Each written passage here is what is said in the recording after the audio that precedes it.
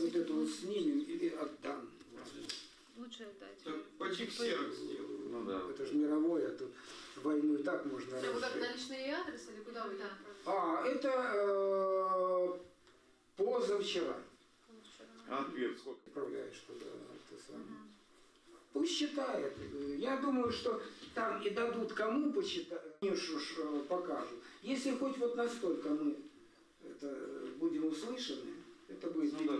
Терпение мое лопнуло тогда, когда э, госпожа Меркель в Бундестаге сказала, что Россия хочет аннексировать Крым и все такое.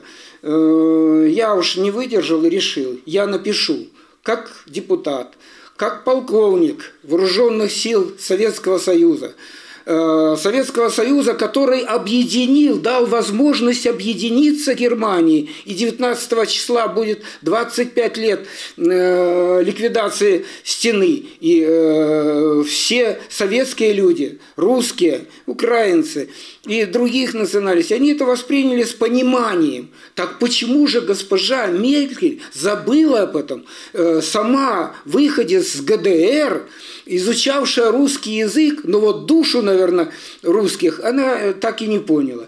И вот я ей хотел напомнить, что госпожа Меркель, вспомните Бисмарка, что он говорил о России, о русских. И говорил, что русских нельзя уничтожить или разъединить. Даже разъединив, они как ртуть, все равно, как капельки ртути соберутся все равно в кулак. И это будет. Молю Господа, чтобы все руководители европейских стран, думаю, что и американцев, чтобы услышали это.